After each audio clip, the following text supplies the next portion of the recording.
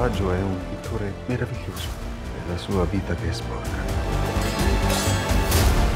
Nell'ombra di Caravaggio tu racconti una Roma splendida ma anche molto decadente, no? perché sì. in quegli anni era in questo modo. Adesso, al di là di Roma, il tempo che viviamo come lo vedi tu?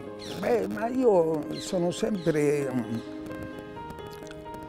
un ottimista, pessimista per le mie cose personali, ma ottimista per il mondo. Io penso che dobbiamo vivere l'epoca che eh, ci viene donata, che è piena di contraddizioni incredibili, però se guardiamo la storia del passato, forse abbiamo avuto periodi ancora più negativi, se pensiamo al nazismo, al fascismo, alle guerre, ma fino a poco fa, insomma, in Estremo Oriente, in Iraq, soprattutto Afghanistan, insomma, bisogna sempre capire che non bisogna vivere solo l'Italia, ma bisogna un attimo stare lì, in quelle nazioni dove veramente sono avvenute stragi incredibili di popolazioni inermi, in Libia anche. Io mi ricordo quando il Papa, eh, Papa Giovanni Paolo II disse cercò di fermare la guerra in Iraq disse no, no, non alla guerra, non alla guerra perché poi eh,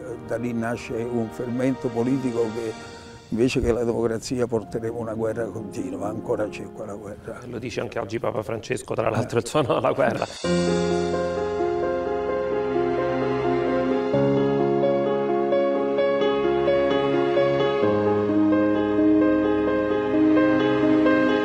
Tuoi cinque figli, tre di loro poi lavorano nel mondo del cinema, sì. quindi sei ottimista anche per loro? Insomma. Ma certo, Beh, eh, noi siamo una piccola azienda eh, familiare che beh, adesso grazie a Caravaggio speriamo di diventare un po' più di salire qualche gradino e tutti eh, hanno sempre seguito il mio lavoro, i ragazzi sempre nei teatri, hanno da quando ero giovanissimo, insomma da Violante, Concetta Viola, e, e vissuta in teatro, veniva in tournée con me, capito? e poi anche Brenner e Michelangelo, il più piccolo grazie a Dio no, per, ora, per ora, no perché non è un mestiere da, raccom da, da, da, raccomandare il nostro perché è un mestiere precario insomma poi vivere all'ombra a proposito di ombra di un padre che eh, in qualche modo eh, diciamo ce l'ha fatta eh, e, e loro sono ancora in fase di fare e non è facile